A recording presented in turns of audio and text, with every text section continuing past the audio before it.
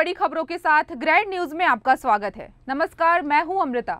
आगे बढ़ने से पहले एक नज़र आज की हेडलाइंस पर।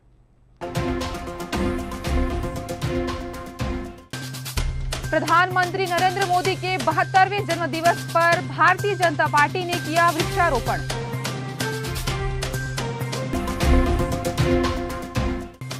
आज विश्वकर्मा दिवस के अवसर पर जगदलपुर में निकली कलश यात्रा। बड़ी संख्या में जुटे श्रद्धालु।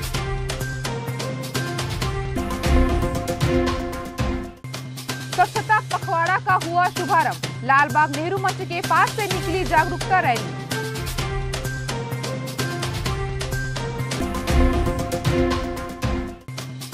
नगरनाथ पुलिस को मिली बड़ी सफलता। 25 किलोग्राम का गांजा पकड़ाया।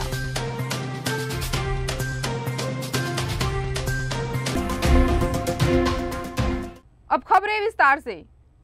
टीचर्स एलिजिबिलिटी टेस्ट यानी शिक्षक पात्रता परीक्षा 18 सितंबर रविवार को है। इस परीक्षा के लिए बस्तर में 40 केंद्र बनाए गए हैं और 13,680 परीक्षार्थी इस परीक्षा में बैठ रहे हैं। व्यापम द्वारा आयोजित इस परीक्षा में छत्तीसगढ़ शासन द्वारा शुल्क माफ़ के बाद बड़ी संख्या में परीक्षार्थियों की इस परीक्षा में बैठने की खबर है। 17 सितंबर को भारत के प्रधानमंत्री नरेंद्र मोदी का जन्मदिन है। प्रधानमंत्री नरेंद्र मोदी के बहत्तरवें जन्मदिन के अवसर पर भारतीय जनता पार्टी ने आज से सेवा पखवाड़ा कार्यक्रम आरंभ किया है, जो निरंतर 2 अक्टूबर तक चलेगा। सेवा पखवाड़ा मनाते हुए आज पहले दिन भारतीय जनता युवा मोर्चा ने महारानी जिला अस्पताल में रक्तदान शिविर का आयोजन किया, जिसमें युवा मोर्चा के कार्यकर्ताओं सहित जागरूक जनों ने बढ़ चढ़कर रक्तदान किया। और प्रधानमंत्री मोदी को जन्मदिन की शुभकामनाएँ प्रेषित की। भाजपा के वरिष्ठ नेता भी शिविर में सहभागी बने। इस बारे में जानकारी देते हुए भारतीय जनता युवा मोर्चा के सह प्रभारी दीप ज्योति मुंडे ने बताया। आज 17 सितंबर पूरे देश भर में भारतीय जनता पार्टी युवा मोर्चा के कार्यकर्ता लोग, प्रधानमंत्री जी नरेंद्र मोदी विश्व भर के, विश्व के प्रसिद्ध जो लीडर हैं नरेंद्र मोदी जी, उनका जो जन्म आज बहत्तरवीं जन्म दिवस के उपलक्ष्य पूरे देश में युवा मोर्चा के सभी कार्यकर्ता blood donation camp Terapanth Jain जो है, उनके साथ मिलके ये ब्लड डोनेशन कैंप आयोजित किए हैं। उसमें जगदलपुर जिला के जो अविनाश जी और उनके पूरे टीम, युवा मोर्चा की पूरे टीम, ये जिला की पूरी टीम यहाँ पर आज ब्लड डोनेशन आए कार्यक्रम आयोजन किए हैं। उसमें मैं कालाहांडी जिला में प्रदेश का जो प्रभारी, सह प्रभारी के दायित्व में आया ब्लड डोनेट किया। इस बारे में जानकारी देते हुए पूर्व विधायक संतोष बाफना ने बताया। देश के सम्मानीय श्रद्धेय प्रधानमंत्री जी नरेंद्र भाई मोदी जी का आज जन्मदिन है, बहत्तरवा जन्मदिन है और इस अवसर पर भारतीय जनता पार्टी ने पूरे सत्रह तारीख से लेकर दो तारीख तक सेवा पखवाड़ा के रूप में कार्यक्रम बनाने का अवसर दिया है। आज भारतीय जनता युवा मोर्चा के द्वारा पूरे देश भर में रक्तदान शिविर का आयोजन साथ में वृक्षारोपण का कार्यक्रम, साथ में संगोष्ठी का कार्यक्रम, ऐसे कार्यक्रम आज के दिन संपन्न किए जाएँगे। मैं माननीय नरेंद्र भाई मोदी जी को अपनी ओर से ढेर सारी बधाई देता हूँ, ढेर सारी शुभकामनाएँ देता हूँ और उनके दीर्घायु जीवन की शुभकामना देते हुए उनसे चाहता हूँ कि वो राष्ट्र की सेवा लंबे समय तक करें और वो उनके साथ माँ दंतेश्वरी का आशीर्वाद लगातार उन्हें मिले। भाजपा द्वारा चलाए जा रहे सेवा पखवाड़ा के माध्यम से अनेकों कार्यक्रम 17 सितंबर से 2 अक्टूबर गांधी जयंती तक तय किए गए हैं। इसी कार्यक्रम के तहत शनिवार को शक्ति केंद्र स्थित दीनदयाल उपाध्याय वार्ड के बूथ में पौधारोपण किया गया। मंडल स्तर पर हम देख रहे हैं, जगदलपुर में जैसा नगर मंडल के तत्वाधान में आज वृक्षारोपण का कार्यक्रम हुआ है।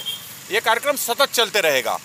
दो अक्टूबर महात्मा गांधी की जो हमारे जयंती के उपलक्ष्य में और जो कार्यक्रम होंगे, उस तक ये लगातार ये कार्यक्रम चलते रहेंगे सेवा सप्ताह के अंतर्गत हमारे स्वच्छता अभियान को लेकर, जो कि मोदी जी का ड्रीम प्रोजेक्ट है। पूरा देश में स्वच्छता का एक बहुत ही बड़ा काम और एक बड़ा संदेश आदरणीय प्रधानमंत्री जी ने दिया है। भारतीय जनता पार्टी के मंडल स्तर पर और बूथ स्तर पर स्वच्छता सप्ताह की योजना है। साथ ही हमारे जो इस देश की विभूति हैं, जिनका कि कहीं मूर्ति है, कहीं कोई बाग बगीचे हैं जिनके नाम पर वहाँ पर सफ़ाई की योजना है।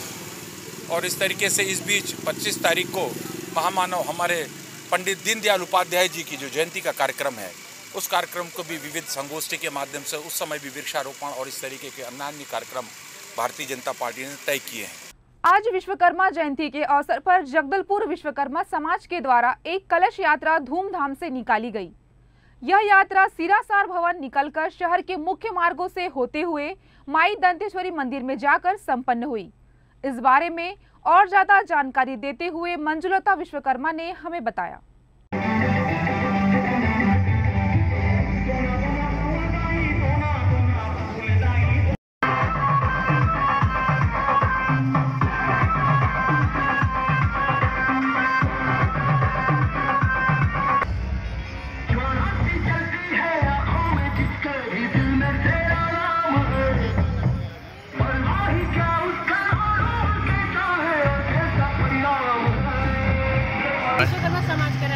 जा। रही है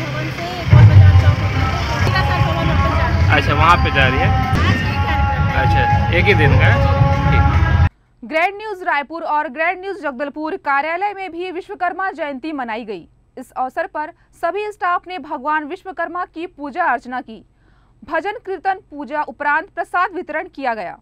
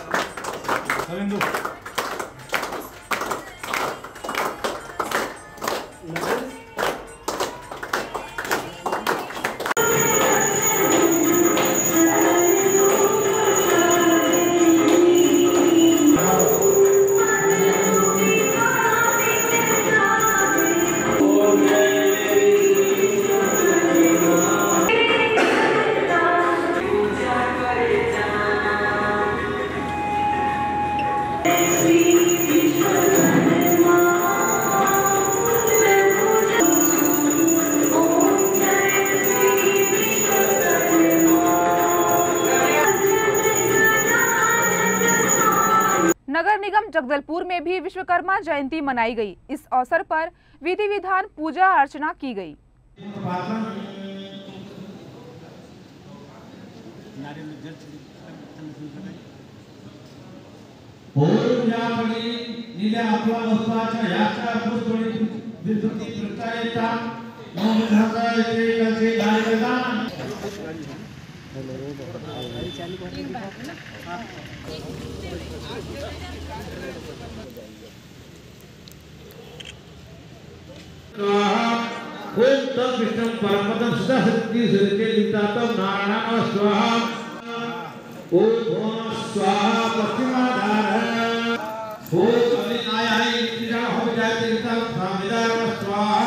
जयंती है और हर वर्ष की भांति। इस वर्ष भी पूरा जितना वाहन शाखा है, शाखा के जितनी भी गाड़ियाँ हैं, सभी का पूजन किया जा रहा है। पिछले कोविड के समय उसे बस जिसकी गाड़ियाँ थी, उन्होंने ही पूजा किया, लेकिन आज एक फिर हमें मौका मिला है कि हम सभी गाड़ियों का एक साथ मिलकर पूजा कर रहे हैं और सभी को जितने भी यहाँ पर हमारे ड्राइवर भाई हैं सभी को मैं विश्वकर्मा जयंती की बहुत बहुत बधाई और शुभकामनाएँ देना चाहती हूँ। नगर पालिक निगम के तहत आज़ादी के अमृत महोत्सव पर 17 सितंबर से 2 अक्टूबर तक आयोजित होने वाले स्वच्छता पखवाड़ा का शुभारंभ लालबाग के नेहरू मंच से किया गया। महापौर सफीरा साहू कलेक्टर चंदन कुमार ने झंडी दिखाकर रवाना करते हुए स्वच्छता का संदेश दिया। इस रैली में स्कूल के छात्र छात्राओं के साथ बड़ी संख्या में शहरवासी शिक्षक शिक्षिकाओं ने शहर को स्वच्छ व सुंदर बनाने के लिए संकल्प लेते हुए लोगों को जागरूक किया। स्वच्छता पखवाड़ा चलाया जा रहा है जगदलपुर शहर में। पूरे पंद्रह दिनों का है जो सत्रह तारीख से आज उसकी शुरुआत हुई है और दो अक्टूबर तक ये लगातार चलता रहेगा। और इसमें हम लोगों ने विशेष रूप से अ, सभी से अपील की है कि सभी का इसमें साथ मिले और पूरे जितने 48 वार्ड है उसमें हम लोगों ने पूरे 48 ब्रांड एम्बेसडर बनाए हैं और जैसे कि प्रत्येक वार्ड में जो सफ़ाई कर्मचारी है, उनका साथ तो रहेगा ही। लेकिन उसके अलावा भी हमारे जो राजीव युवा मितान के सदस्य बनाए गए हैं, उनका भी जोड़ा गया है उस काम में। और इसमें प्रत्येक वार्ड में जितने भी स्कूल आ रहे हैं, जितने भी आंगनबाड़ी हैं या फिर और भी होटल आ रहे हैं, वो सभी के लिए एक टास्क मतलब पिछले वर्ष की भांति इस वर्ष भी किया गया है, जो अधिक इसमें अपने चाहे वो वार्ड हो चाहे वो स्कूल हो चाहे वो होटल हो या अन्य आंगनवाड़ी और भी बहुत सारे ऐसे हमारे कार्यालय हैं जैसे कि अ, अगर बहुत अधिक साफ़ स्वच्छ और सुंदर पाया जाएगा तो उसको हम लोग प्रशस्ति पत्र देकर उसको सम्मानित भी करेंगे और इसमें स्कूल के बच्चे भी आज काफ़ी लोगों ने हिस्सा लिया है। स्कूल विभाग का भी काफ़ी सहयोग मिल रहा है। थाना नगरनार को गांजा की तस्करी की सूचना मिली थी। पुलिस टीम ने छत्तीसगढ़, उड़ीसा के सीमावर्ती क्षेत्र धनपुंजी नाका में मोबाइल चेक पोस्ट लगाकर वाहनों की चेकिंग की। इस दौरान एक बस को रोककर चेक किया गया, जिसमें संदेह के आधार पर एक व्यक्ति को पकड़ा गया। पूछताछ करने पर अपना नाम नरेश कुमार निषाद बताया। उसके पास इस सामान की तलाशी लेने पर 25 किलोग्राम गांजा मिला। इस बारे में और ज़्यादा जानकारी दे रहे हैं नगर पुलिस अधीक्षक हेम सागर सिदार। मामला थाना नगरनाथ क्षेत्र का है, जहाँ आज सूचना प्राप्त हुआ था कि किसी व्यक्ति के द्वारा अवैध रूप से गांजा की तस्करी उड़ीसा से छत्तीसगढ़ की ओर किया जा रहा है। सूचना पर थाना प्रभारी नगरनार बुधराम नाग के नेतृत्व में कार्यवाही हेतु टीम गठित कर धनपुजी नाका की ओर रवाना किया गया था। उक्त टीम के द्वारा जो है एक बस में जो है रेक कर चेक किया गया, जिसमें एक व्यक्ति को संदेह के आधार पर रोका गया और पूछताछ पर जो है उसने अपना नाम नरेश कुमार निषाद निवासी दुर्ग ज़िले का होना बताया गया। जिसके सामान की तलाशी लेने पर जिसके पास जो है कुल 25 किलोग्राम अवैध गांजा बरामद हुआ। इसके संबंध में पूछताछ करने पर इसके द्वारा जो है किसी प्रकार का वैधानिक दस्तावेज़ प्रस्तुत नहीं किया गया है। मामले में आरोपी नरेश कुमार निषाद के विरुद्ध थाना नगरनार में धारा बीस बी एनडीपीएस एक्ट के तहत आपराधिक प्रकरण पंजीबद्ध कर अनुसंधान में लिया गया है। तीन दिवसीय बस्तर दौरे में पहुँचे स्वास्थ्य मंत्री T S Singhdeo Bastar chamber of commerce द्वारा आयोजित एक समारोह में शामिल हुए। व्यापारियों को संबोधित करते हुए स्वास्थ्य मंत्री ने देश के साथ ही प्रदेश में टैक्स कलेक्शन बढ़ने की बात कही। स्वास्थ्य मंत्री ने कहा, कंपोजिशन की व्यवस्था बंद हो जाने के चलते राज्य सरकार को नुकसान हुआ है। जीएसटी लागू किए जाने के दौरान कहा गया था कि पाँच वर्ष बाद राज्य सरकार को कम से कम चौदह प्रतिशत की आय होगी। हालाँकि आय फ़िलहाल आठ प्रतिशत हो रही है। बस्तर चैम्बर भवन में आयोजित समारोह में व्यापारियों ने स्वास्थ्य मंत्री का सम्मान किया। इस दौरान बस्तर प्राधिकरण के अध्यक्ष Lakheshwar Baghel, Bastar chamber of commerce के अध्यक्ष मनीष शर्मा एवं अन्य पदाधिकारी मौजूद रहे। देश में अभी ये बताया जा रहा है कि लगातार जीएसटी के कलेक्शन में वृद्धि आ रही है और पिछले पाँच महीने में लग, लगभग एक लाख चालीस हज़ार करोड़ से अधिक हर माह जीएसटी कलेक्शन हो रहा है। छत्तीसगढ़ में भी ऐसा दिखता है कि थोड़ा सा कलेक्शन बढ़ा है, लेकिन वास्तविक स्थिति ये है कि कॉम्पनसेशन की व्यवस्था बंद हो जाने के कारण अब और उसको लेते हुए हम केवल 8 परसेंट की बढ़ोतरी दर्ज कर पाए हैं।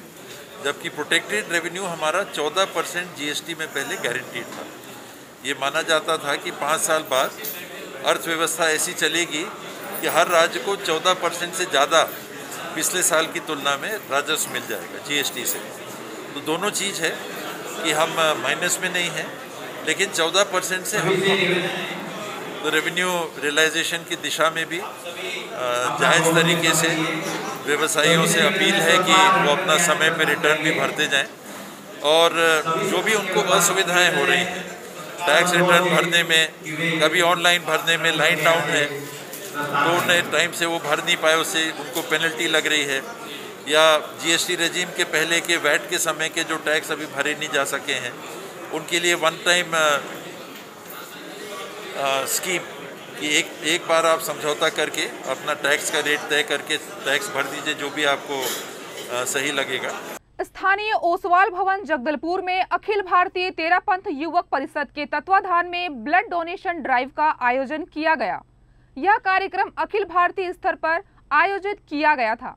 पिछले 11 वर्षों से प्रति वर्ष यह ब्लड डोनेशन कार्यक्रम का आयोजन किया जाता है। पूरे भारत में एक साथ यह आयोजित किया जाता है, जिसमें लगभग दो लाख से ज़्यादा यूनिट एकत्रित किए जाने का लक्ष्य रखा गया। इसी क्रम में स्थानीय ओसवाल भवन में ब्लड डोनेशन ड्राइव का आयोजन तेरापंथ युवक परिषद, जगदलपुर और ओसवाल युवा संगठन के द्वारा किया गया। कार्यक्रम का शुभारंभ स्वास्थ्य मंत्री, छत्तीसगढ़ शासन टी एस सिंहदेव ने किया।